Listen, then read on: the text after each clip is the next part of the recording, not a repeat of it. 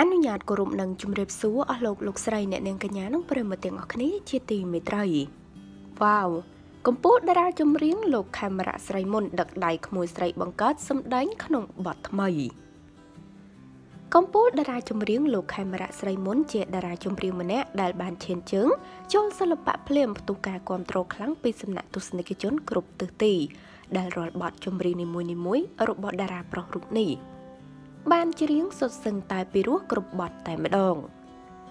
យ៉ាងណាមិញបន្ទាប់ពីចូលសិល្បៈអស់រយៈពេលជាច្រើនឆ្នាំកន្លងមកនេះលោកខេមរៈស្រីមុនកាន់តែទទួលបានកេរ្តិ៍ឈ្មោះល្បីល្បាញក្នុងសង្គមសិល្បៈកាន់តែខ្លាំងពីមួយឆ្នាំទៅមួយឆ្នាំ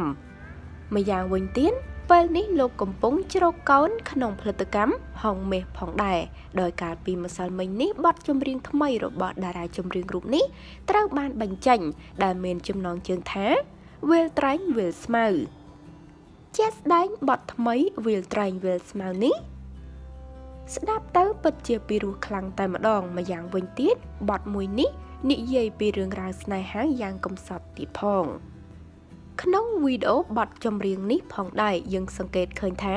តារាប្រុសរូបនេះបានយកក្មួយស្រីមកសម្ដែងក្នុងបទចម្រៀងថ្មីនេះធ្វើឲ្យ fan fan ចាប់អារម្មណ៍លើនាងជាខ្លាំងដោយមើលទៅក្មួយស្រីតារាប្រុសរូបនេះ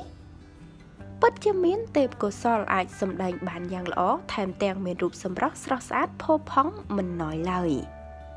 ចាមិនធម្មតានោះទេ